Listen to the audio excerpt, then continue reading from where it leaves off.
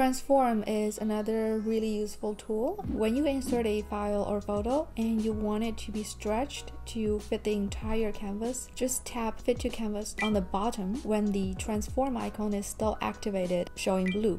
You can resize anything in transform as well. To do that, just activate transform icon, then pinch in with two fingers to shrink and pinch out with two fingers to increase the size. You can move anything around using the transform icon as well. Just activate transform, then drag with one finger and release it wherever you want it to. It also lets you rotate elements. Activate transform, then drag the green dot with one finger or tap rotate 45 degrees. And finally, you can flip elements here as well. Activate transform, then tap flip horizontal or flip vertical.